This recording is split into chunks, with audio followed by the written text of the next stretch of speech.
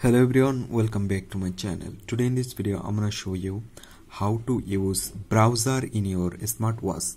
So let's begin our video.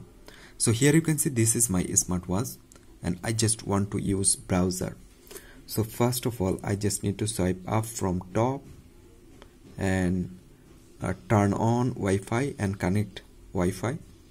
After that you can easily find the option browser on here. Just open it and which link you just want uh, you just want to enter. Just type this link www. Dot um, any any link you can just provide here.